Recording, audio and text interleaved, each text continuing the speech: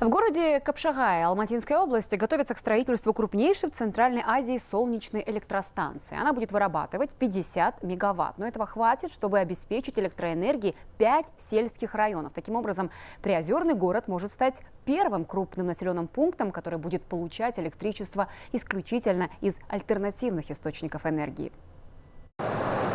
Капшагай идеально подходит для использования энергии гелия. В этих местах почти 300 дней в году светит солнце. Первый эксперимент провели в 2013-м, построив солнечную электростанцию мощностью 2 мегаватт. Для выработки энергии здесь установлено 60 солнечных панелей, которые весь световой день вращаются вслед за солнцем. Сегодня альтернативная станция успешно работает и обеспечивает электрическим током тысячу семей. Но на этом энергетики останавливаться не собираются.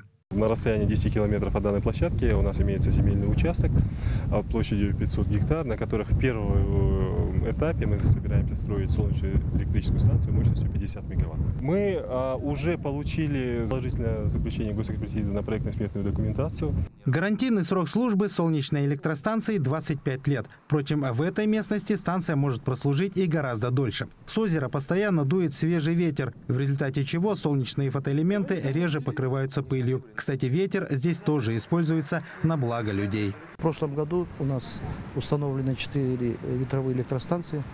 Э, в будущем они планируют дополнительно установить до 20 таких ветроэлектростанций. Э, то есть в будущем они будут порядка 20 мегаватт выдавать электроэнергию.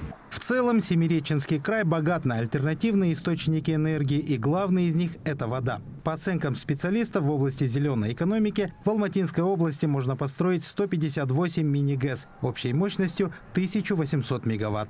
Оскар Сергалиев, Ерлан Абжанов, Алматинская область, Хабар 24.